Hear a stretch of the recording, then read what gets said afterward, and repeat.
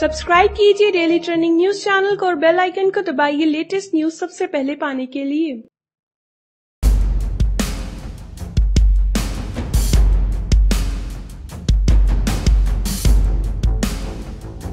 Rafale मामले में पुनर्विचार याचिका पर सुप्रीम कोर्ट में महत्वपूर्ण सुनवाई जारी है। इस दौरान सरकार की तरफ़ से अटॉर्नी जनरल के के वेणुगोपाल ने कोर्ट को बताया कि जिन दस्तावेजों पर एडवोकेट प्रशांत भूषण भरोसा कर रहे हैं, वो रक्षा मंत्रालय से चुराए गए हैं। वहीं चीफ जस्टिस ने अटॉर्नी जनरल से कहा कि गलत तरीके से हासिल दस्तावेज़ भी मान्य है।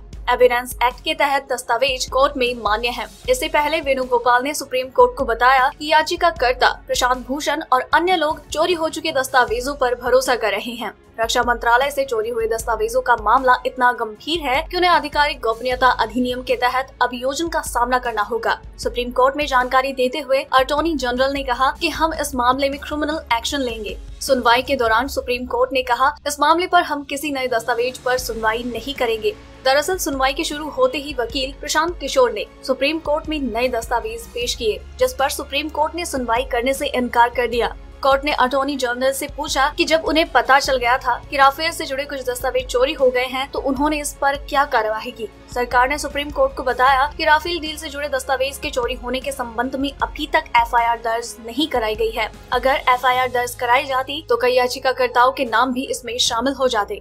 अगर आपको हमारी ये न्यूज़ पसंद आई तो इसे लाइक और शेयर करें, साथ ही अपने व्यूज़ हमें कमेंट करके ज़रूर बताएँ। डेली ट्रेंडिंग न्यूज़ की रिपोर्ट सब्सक्राइब करें हमारा चैनल ऐसी ही लेटेस्ट और इंटरेस्टिंग न्यूज़ के लिए।